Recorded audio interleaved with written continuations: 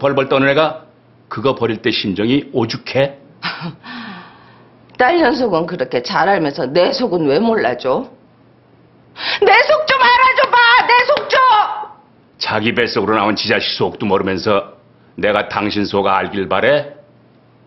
우린 피 한 방울 안 섞인 남남이야. 이거 왜 이래? 이제라도 반성해. 자식 하나 잃고 싶지 않으면.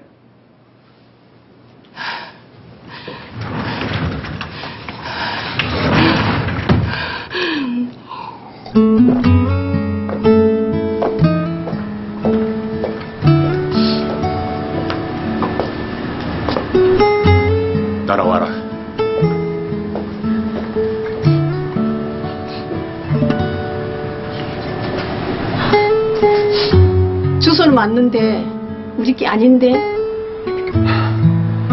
죄송합니다.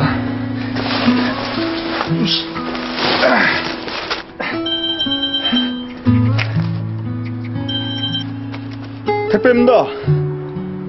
아, 예. 아까 댁에 아무도 없어서 앞집 502호에 맡겼습니다.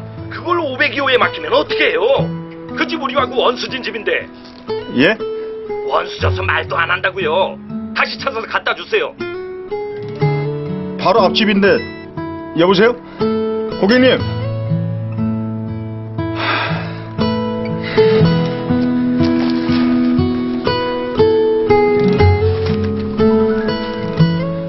택배입니다.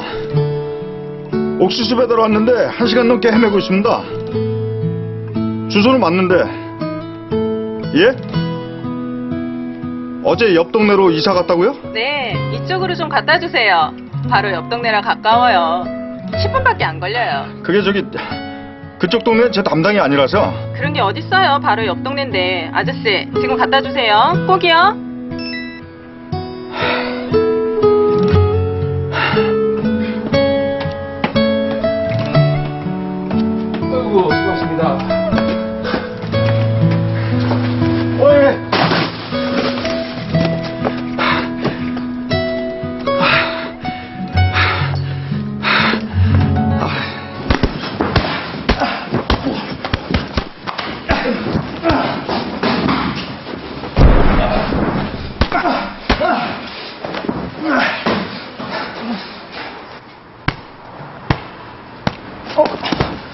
선생님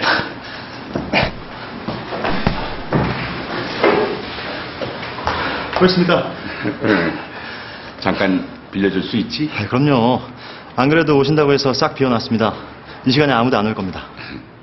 어, 인사해. 우리 둘째 딸. 안녕하십니까. 선생님 제자 호남형이라고 합니다. 예. 여기 관장인데 너 중학교 몇 년 후배쯤 될 거야. 그럼 좋은 시간 보내십시오. 가자.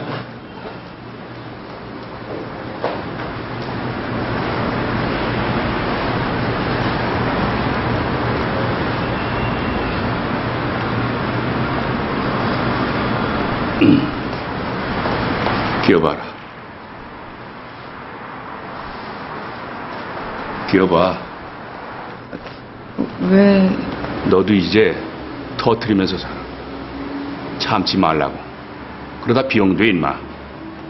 네 신랑한테도 그렇고 엄마한테도 그렇고 싸우게 생겼으면 싸우고 욕하게 생겼으면 욕해. 대놓고는 못해도 그 샌드백에다가 욕 한 바가지 퍼붓고 한바탕 두들겨 패면 좀 시원해질 거야. 요즘 힐링 힐링 하길래 욕 힐링이라고 내 마음대로 이름 붙여봤다. 한번 때려봐.